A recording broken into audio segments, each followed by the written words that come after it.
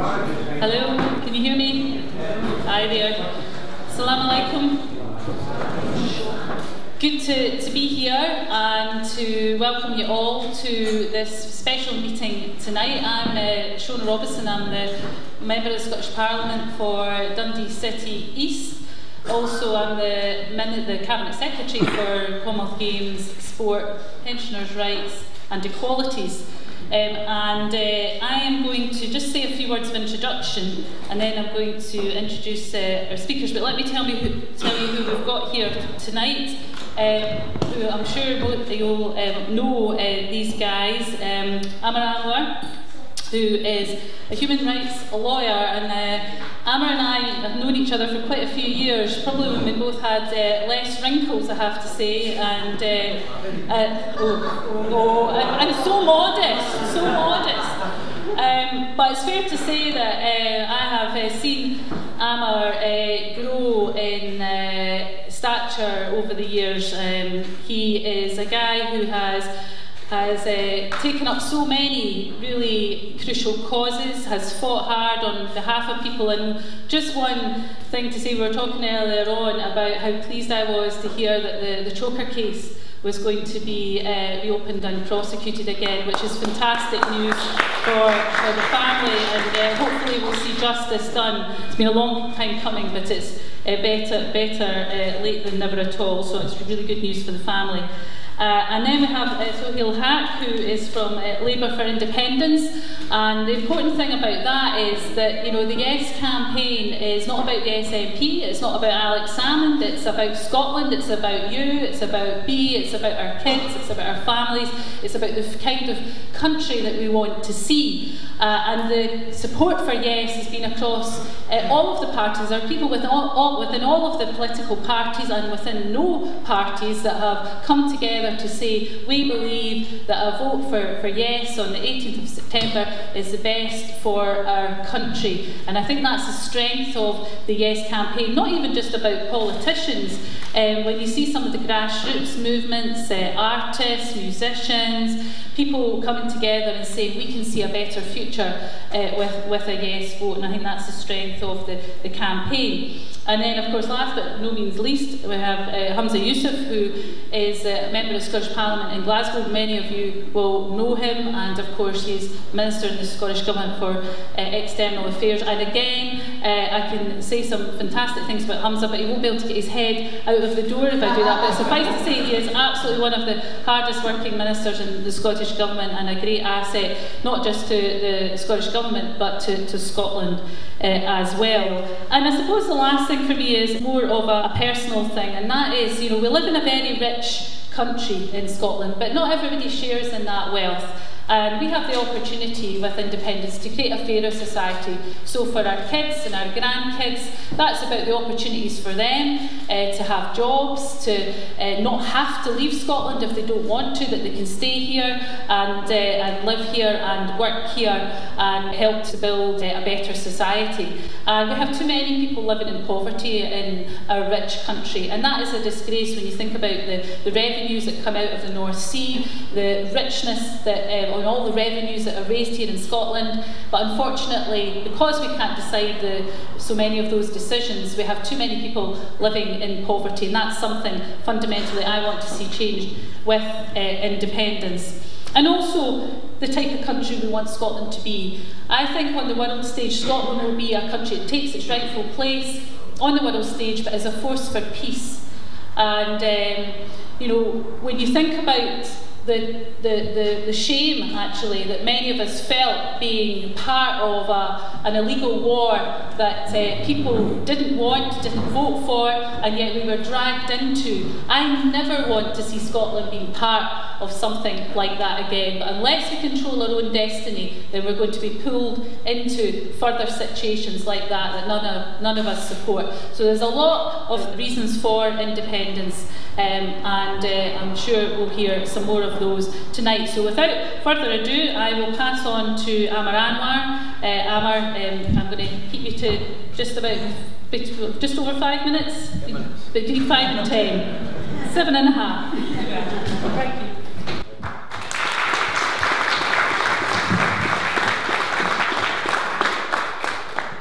Um, can everyone hear me? Yeah. Yes. yeah. Uh, thank you, Shona, for, for that introduction. And, uh, proud of the role, incidentally, that Shona played along with a number of others, uh, whose faces we see every day now from, from the Scottish Cabinet, who worked also day and night alongside ourselves um, with the Chhokar campaign to get justice. And I do hope, for the sake of the family and for the sake of people in Scotland, that we do get justice. Now, on the question of independence, I say this at each meeting, I don't have a crystal ball. I don't think any politician, I don't think any lawyer has a crystal ball to determine what will happen in Scotland post September 18. But the reason why I'm convinced is that, at least in an independent Scotland, I believe that we will not spend our lives being ashamed of the mistakes that have been made by Westminster and repeatedly made by Westminster. Better Together, of course, tells us that we should think that we're all better together in a, in a union. Um, and I wonder what, who are they talking about when they say we're all better together? The richest 1,000 people saw their wealth increase from 99 billion pounds to 301 billion pounds in nine years that Tony Blair and Gordon Brown ran the government. In 2010, two years after the banking crisis, chief executives in this country had their pay in the UK increased by 49%, according to the European Banking Report. Many in Scotland, the wealthiest, are 273 times more richer than the poorest in this country, according to Oxfam. And many British tycoons pay little or no tax at all, and their tax fraud, corporate tax fraud, costs the United Kingdom taxpayers 70 billion pounds annually. And you compare that to benefit fraud, which is £1 billion a year. And we don't see any of these fly-on-the-wall documentaries. We don't see any of these camera crews following people on, you know, um, these corporate um, benefit frauds, as far as I'm concerned. These people in their yachts, people controlling places like Grangemouth, um, controlling the life and destiny of individuals sitting on the Mediterranean on a yacht, deciding what will happen to thousands of individuals in Scotland. Now, research shows that Scotland um, poverty is worse than it's been in 30 years. As of last year, 14% of Scots, that's 720,000 people, live in a state of basic deprivation. Yet out of those 720,000 people, 40% of those in poverty are actually in work. And 100,000 Glaswegians use payday loans to meet everyday living expenses. And I've looked at the city of Glasgow. It has six out of 10 of the most deprived areas in the United Kingdom where some 51% of our children are living in poverty. Our elderly in Scotland are the fourth poorest in Europe, and life expectancy for males in parts of Scotland is the worst in Western Europe. That's all very well that Labour's promising us if you vote for us, vote against independence, we're better together and things will be better the next time round. It's all manana, manana. We should not forget the number of years that Tony Blair and Gordon Brown were in power and the opportunities they had to de deliver welfare, the opportunities they had to deliver justice and to deliver healthcare, etc., to the rest of the United Kingdom. And it's astonishing that the London School of Economics, hardly a radical left wing think tank, has actually said if we carry on with austerity, with what has been promised to us by each member of those political parties that are backing better together, that we will reach Victorian levels of inequality by 2025. Scots have been told that the, the sky will cave down on us, there'll be uh, you know, the world may well end if we vote for independence. We'll lose the pound. We'll be stripped of everything from the BBC to the European Union membership. There'll be border posts, immigration control. Um, and Osborne, of course, is the most Bullingdon of uh, the Tory ministers is threatening to build a financial Hadrian's Wall to stop pounds leaking into Scotland. And I have to say this, they totally expose themselves because the United Kingdom isn't a union of equals if one side lays exclusive claim to the most obvious symbol of that union, which is the pound. And unionists actually claiming that they will that we will not get the pound, the currency union, are willing to do damage to England and to hundreds of thousands of workers with England. And when you see Gordon Brown wheeled out again that political beast, I don't know why they call him the political beast, because as far as I'm concerned, Gordon Brown is a failure. He helped destroy this country. And when he has a cheek a few years, a few weeks ago to talk about the UK state pension, almost as though it's a gold standard in this country, compare it with most of the other developed companies, economies, it isn't. Um, it's actually ranked alongside Chile at C+. The Republic of Ireland's state pension, the basic state pension, is £180 a week. In the UK, we have the worst state pension in Europe, and it's at £113 and 10 pence a week. So £180 in Ireland, but £113. And this is, this is what Gordon Brown appeals to us for. And it could have been different. There's been lots of talk about us um, imitating Norway, imitating Scandinavia. Norway, it had the biggest sovereign oil wealth in the world. The annual income from their protected investments pays their state pensions and will do so for years to come. And the reason why is because Norway invested their oil. It invested their oil and the United Kingdom never did. Our oil wealth continued went to the Westminster and to those companies and those financiers and those bankers and the southeast of England in order to carry on with their greed. And when you consider the fact, somebody pointed this out to me, a BBC documentary, that we have the equivalent amount of oil to Kuwait and look at the living standards of ordinary Kuwaitis in comparison to the living standards of the, the Scots, and it's clear to me why we do need to vote yes when it comes to September the 18th. There is no Labour escape route. There is no talk of social justice one day or next time, because that's all it is, it's actually talk. A Labour majority would be required to guarantee the added powers for Scotland, and if you had a minority in Westminster, then that would leave them at the mercy of Little Englanders. And when I'm talking about Little Englanders, I'm talking about the Tory party, and I'm talking about UK. It is terrifying to consider the advert that was on TV just last week, Britain First, the fact that they can get away with it, that it's normality now for a party political broadcast to spend four minutes of his time where every 20 seconds is an attack on the Muslim community. I just remember it was several years ago when the BNP were allowed onto question time the first time how there was national uproar. It, it carried on every front page of every newspaper. There was practically riots and people were demanding that there should be no platform. But yet now it seems all right for UKIP and for Britain First to be able to say that. And we should remember who is responsible for that. Tony Blair, Gordon Brown. It was Gordon Brown that raised the slogan, British jobs for British workers. And he's the one who energised the drive for UKIP and drive for the, the new parties, the fascists, right-wing, racists, whatever you want to call them. But we have to be able to stop them. For those who seem to think that we will be able to stop them by remaining within the United Kingdom. For those worried about the European Union, I think we have more chance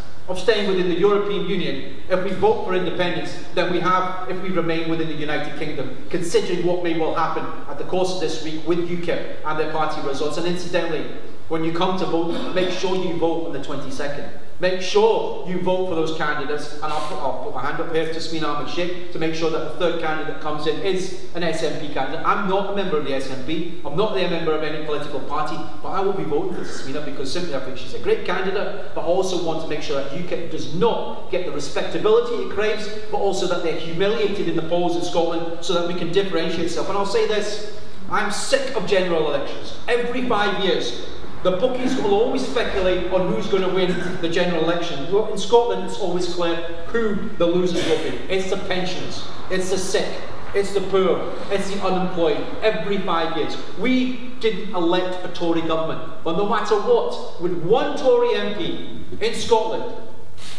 Westminster will dictate our future. And that's what we want to put an end to, that the people of Scotland themselves will decide. And when it comes to the message of Better Together, Labour, Tories, mini-me Tories, married to each other for better or worse, they only have one message. It's cuts, it's more weapons, it's more misery, and they're willing to hand 1.4 trillion pounds to the bankers, but they tell us we have to pay for closed hospitals, through um, slash living standards and a future of unemployment, or a future of working till the day we die. People have had absolutely enough, and I'll go back to the question of Gordon Brown, because for some reason they're, they're desperate to find these political beasts to be bought out of retirement to try and convince us on why we should vote for the State of the Union. We should remember that when Gordon Brown claims that a vote for independence will put at risk 100 years of Labour achievements, during a decade of annual CBI dinners when he was the Chancellor of the Exchequer, he actually said he'd stabilise the world economy. And we should remember that he was the one who signed the blank cheques for Iraq, for the wars in Iraq and the wars in Afghanistan. He was the one who was messianic in his pursuit of privatisation and said that he had to break from 100 years of Labour history to turn the UK into a paradise for big business. It was Gordon Brown that actually out Thatcher, Thatcher, not David Cameron, but Gordon Brown that set that road up um, that we've seen where London has been turned into a playground and a paradise for the super rich and leaving us at the mercy of the bankers. Um, and it was Gordon that bailed out the bankers with 1.4 trillion pounds of our money. He's the one who refused to slash um, the bankers' living standards, and the UK is becoming one of the most unequal countries in Western Europe, where we're dominated by the arm trade and we're dominated by what the banks do. And I'll say this, in an independent Scotland, what I want to see is where banks do not have the freedom to speculate on our future. As far as I'm concerned, if bankers fail, they should be jailed, not bailed out as they were done.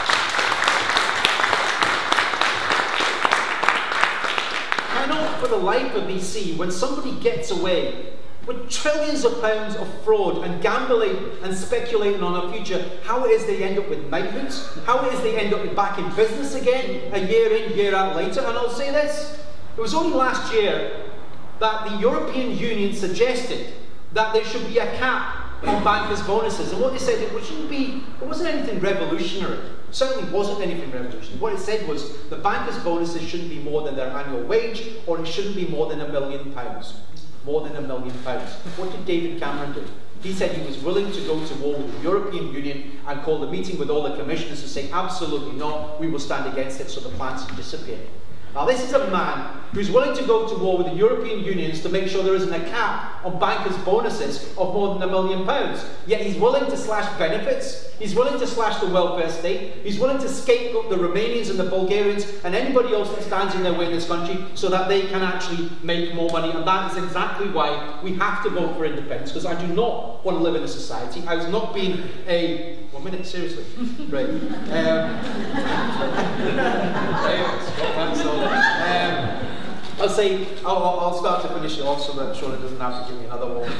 um, but I'll say that I think the No campaign have to be the most miserable, negative, depressing, boring campaign in the history of politics within this country. They are not just out of touch with the people of Scotland, but they're also losing touch with reality. When you have Lord Robertson, who was once the NATO Secretary General, the US, the UK's defence, sorry, mistake, I said US Defence Secretary, actually was UK, but I don't know much difference between that. But when he said a yes vote would be cataclysmic event destabilising the world, in his words, he said, what could justify giving dictators, the persecutors, the oppressors, and adventurers across the planet the biggest pre-Christmas present for their, of their lives by tearing the United Kingdom apart. He said it would unleash the forces of darkness. I don't know about you, but as far as I'm concerned, I no longer believe in flying the British flag, in, in alluding to British and imperial grandeur, and wanting to foxtrot around the planet in tune with the United States and showing the double standards that we have when it comes to the question of Palestine, when it comes to the question of the Middle East, when it comes to the question of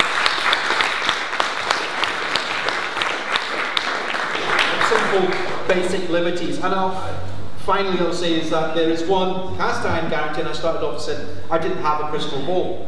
But if we do vote for independence come September the 18th, the people who live in Scotland will finally be able to make the decisions that affect Scotland.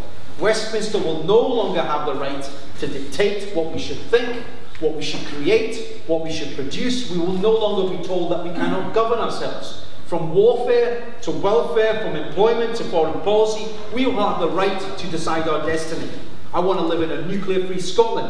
I want Scotland that stands as a beacon for human rights around the world, and I no longer want to back illegal wars like Iraq because we are told to do so. As far as I'm concerned, I am a backer of independence. I am proud to be a Muslim and I no longer partake in being proud to be a member of that so-called British culture that the Tories or the Labour Party tell me to do so. My parents sweated blood and tears in order to help build this country. Our families live, work and walk within the same communities and there's just as much a, a, threat of being blown up by terrorist attacks. But we need to change the system in this country if we want a future for our children. We want an ending of poverty. We want an ending of racism. We want an ending of ignorance and inequality of opportunity. And I do not, I'm not one of those that believes September the 18th that's all going to happen. But it'd be a starting point because for the very first time, we'll have a destiny within our own hands and be able to dictate what we want to happen according to the needs of the people of Scotland. Thank you.